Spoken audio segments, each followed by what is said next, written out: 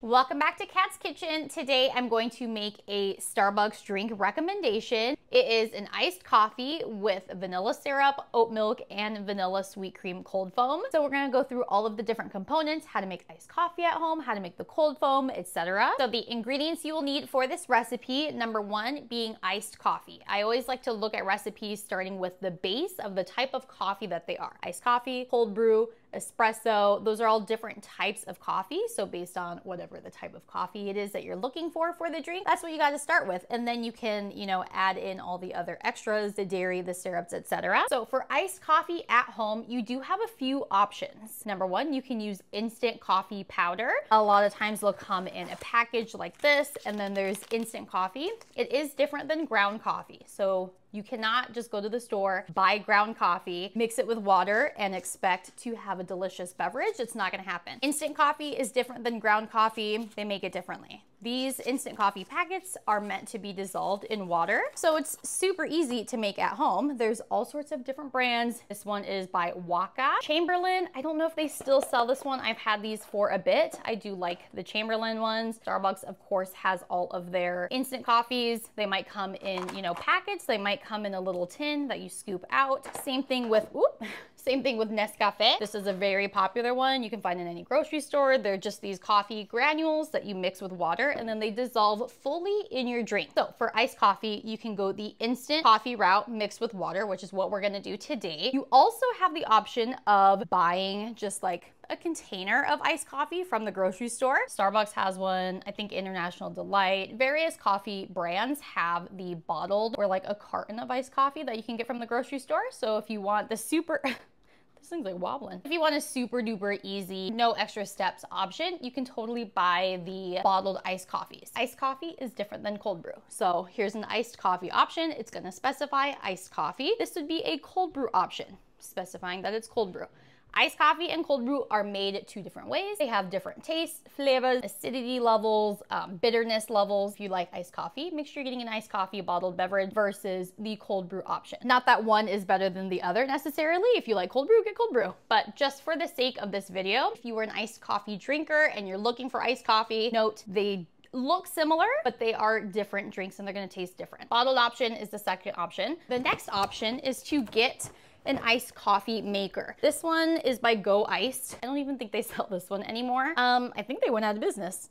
It's just like a Mr. Coffee maker. Nothing fancy. It's like a Keurig and you use ground coffee. You put your ground coffee in it, you add some water, and then you brew it directly over ice to get iced coffee. So that is another option as well. And I will link my video that shows me using this machine to make iced coffee. I'll put that in the description in case you either have one of these or a similar similar iced coffee making option. Other iced coffee making options would include an AeroPress or a moka pot or a French press, basically putting grounds and hot water together, smushing it down in an AeroPress or a French press, and then you can either let that cool or you can pour that directly over ice. Totally up to you. There are various ways to make iced coffee at home. Easiest way would be grabbing the bottles. Second easiest would be using instant coffee granules or instant coffee powder and adding that to water like we're gonna do today. Or you can make brewed coffee coffee, however you like. Keurig, Moka Pot, AeroPress, pour over, French press, all of those brewed coffee or filter coffee options and either cooling them for a length of time overnight in the fridge or brewing them and then pouring over ice. If you are gonna pour over ice, I very much recommend making coffee ice cubes. So maybe you use a French press, you know, on your day-to-day -day basis and you make your brewed coffee that way. I would just pour that coffee into ice cube molds and put that in the freezer and then just use those coffee ice cubes when you are brewing your hot coffee over it so then it doesn't get too diluted. There's different options.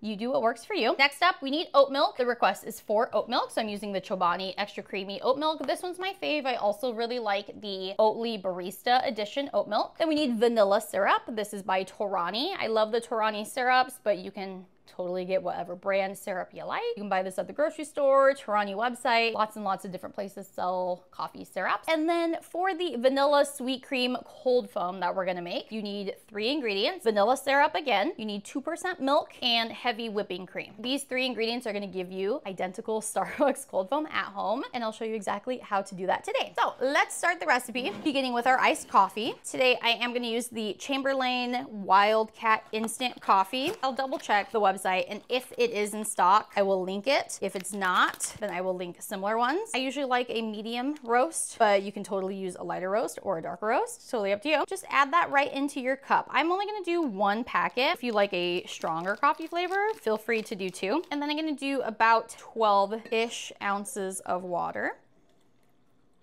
I'm gonna add ice, I'm gonna add oat milk, and I'm gonna add vanilla sweet cream cold foam. So I don't need too much liquid in this glass. This is good enough for me. And then I'm just blending this with a milk frother to make sure that all of the powder is fully dissolved. I don't wanna do too much mixing because I don't want it too frothy and foamy, just enough to mix that together. This color looks pretty good to me. It's not too see-through and diluted, but it's also not too dark and scary. Iced coffee. If you're using the bottled iced coffee, pour your bottled iced coffee into your cup and then move on with the recipe. Next is vanilla syrup. I'm just gonna do a little splash. If you have the pumps on here, do one pump, two pumps, six pumps, however many pumps of syrup you personally like. At Starbucks for a 24 ounce iced coffee, they usually do six pumps of syrup. Just keep that in mind. That's about three tablespoons of syrup. So you can do three tablespoons out, measure that. For me, that would be too much syrup for this amount of iced coffee. You can do less, you can do more, whatever you feel like. This is about half a tablespoon to a tablespoon of syrup. That's perfect for me because then we're gonna be adding, you know, the cold foam on top. Next, adding in some oat milk And this is where I'm gonna add until I get my desired color for the iced coffee. Oh no, I've never had this happen before. This just ripped in half. How am I gonna get this out? Oh no. am I gonna have to open this up like an actual milk carton? Uh,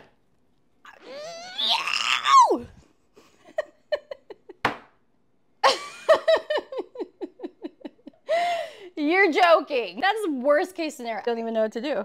I'm so mad. Oh my word, this is the oat milk from, oh my God. I'm gonna cry. I can't get it. Has this ever happened to anybody else? Oh my word, I'm at a loss. What do I do? You're joking. This is embarrassing. Holy bucket.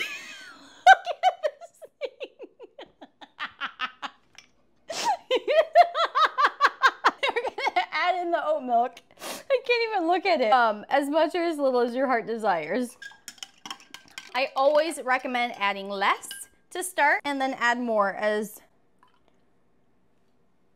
as you go.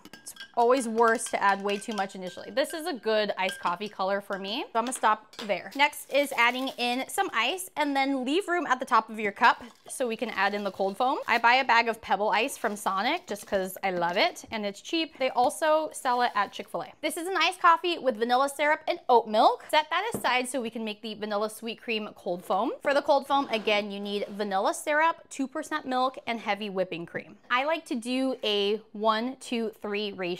So one tablespoon of vanilla syrup, two tablespoons of 2% milk, and then three tablespoons of heavy whipping cream. If you were dairy free, use oat milk instead. This uh, Chobani Extra Creamy Oat Milk, use this. One tablespoon of the vanilla syrup, three to four tablespoons of the oat milk. Froth that up with a milk frother. This is my ride or die. I already used it today to mix up the coffee. You can use it to make cold foam at home like we're gonna do. Basically mixes anything, froths anything. It is elite and you need it. You just put the in the mixture and push this little button here. Then froth. And I don't do anything fancy, maybe some small rotations, you know, in the cold foam. I just let the milk frother do its thing. I don't know what the heck they're doing over there in Bodson Kitchen, um, but they're my favorite for this milk frother. And it's like seven bucks, eight bucks on Amazon. One minute later, she's thick and beautiful. If you want it even thicker, froth for longer or add more heavy whipping cream. This is a beautiful texture, you're gonna see. Look at the beautiful cold foam texture. Oh my goodness, oh my goodness, oh my goodness. Um, stunning, beautiful. You can see the cold foam is like dripping through a little tiny bit. If you don't like that, froth for longer or add more heavy whipping cream. That's all you gotta do. All you gotta do is dance and hold your hands. Taste test. Mm-hmm vanilla sweet cream cold foam. Oh, gosh, tastes like ice cream. I do want a straw though so I can get some of the iced coffee. Ah, oh my goodness, so good. This is delightful. Actually delightful. Mm-hmm. Very, very, very, very, very good. It's like too good. I don't drink iced coffee that often because I do prefer cold brew or espresso to iced coffee. But when I try it, I'm always like, I need to make it more. This iced coffee is delightful. I love the combo with the oat milk and the vanilla sweet cream on top. Super yum. Honestly, really easy to make at home. Again, you can take out the extra step of making your own iced coffee and just use the bottled coffee. You can make a bigger batch of iced coffee at the start of the week and use that throughout the week if you want. I hope this video was helpful in showing you how to make your favorite iced coffee at home. I do want to note with the cold foam, you can make any Starbucks cold foam at home by just switching up the syrups. So if you want the salted caramel cold foam, do exactly what we did, but instead of the vanilla syrup, use salted caramel syrup or caramel syrup with a pinch of salt, one tablespoon syrup, two tablespoons milk, three tablespoons heavy whipping cream, froth that together, salted cream cold foam. For the chocolate cream cold foam, instead of using a syrup, I like to use a chocolate malt powder. Same thing, one tablespoon of chocolate malt powder. You can find that at the grocery store. Two tablespoons milk, three tablespoons heavy whipping cream, froth that together.